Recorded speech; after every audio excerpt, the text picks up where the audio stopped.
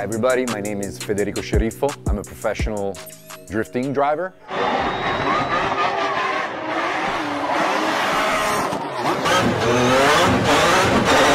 And I'm here in USA now competing for Formula Drift with my Fiorella. Yeah, we had this um, wild dream from a long time to build a machine that also my fans and all the drifting fans can enjoy.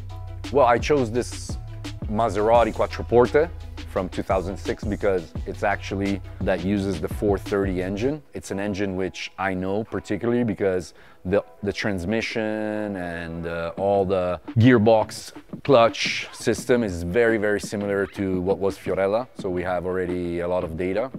And also because she has a Ferrari engine and sounds like a Ferrari. So we continue this uh, vibe, yeah.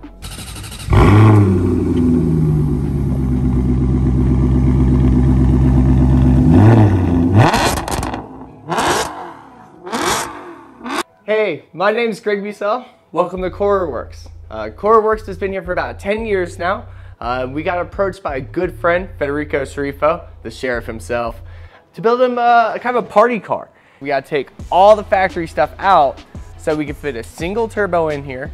We need to get coilovers, a special angle kit, roll cage, and four bucket seats. Let's go see where we're at during it. So let me walk you a little bit around and start from somewhere. Let's start from the engine bay, which we have the 430 Ferrari engine inside, which is a V8. And my first idea was to build a turbo kit in the engine bay, right? For it to be turbo, these manifolds would have to come this way. That's impossible. That's uh, basic science. Quick maths. Boom. So what we might have to do is put the turbo behind the rear bumper. We're now still deciding if actually we're going directly with a turbo setup or first we see with nitrous how she behaves and how much, you know, power, reliable power we can get out of it. And then we might actually get the option of the turbo.